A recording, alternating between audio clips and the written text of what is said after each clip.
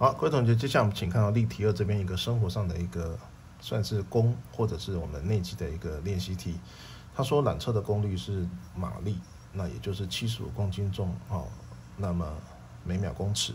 好，这时候 F 为向上九百公斤的拉力，V 是速度嘛，对不对？缆车向前进的速度是四公尺每秒，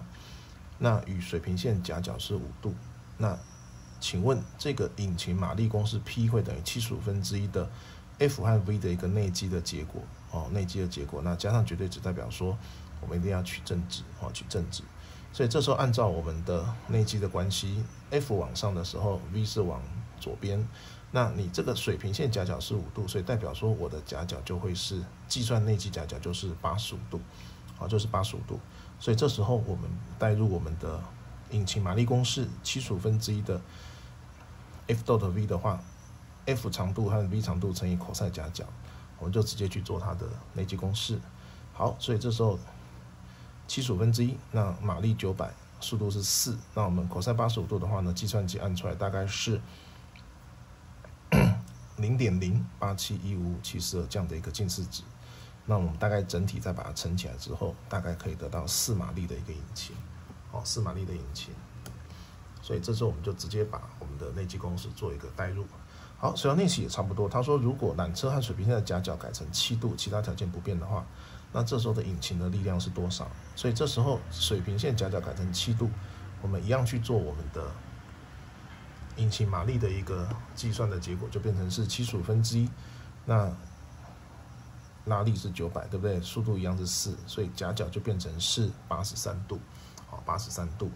因为。Cos 八十三度是近似值零点一二一九左右，那我们把这个整体乘起来的结果大概是五点多，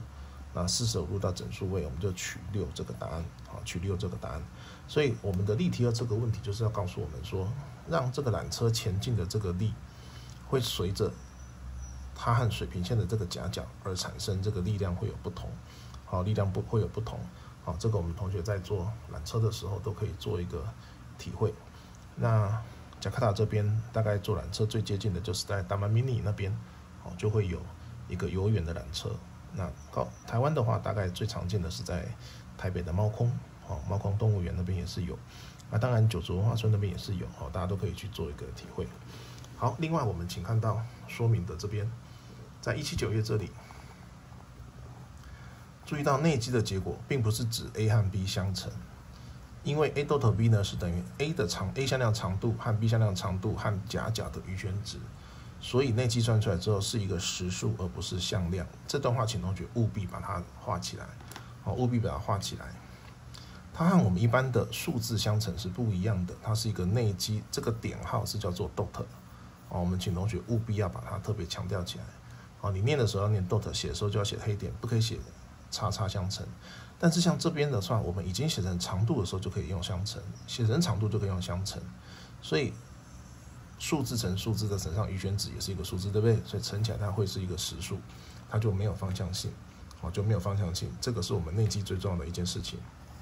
内积出来的答案它一定是一个数字，就不是向量的，哦，就不是像这样这样量的。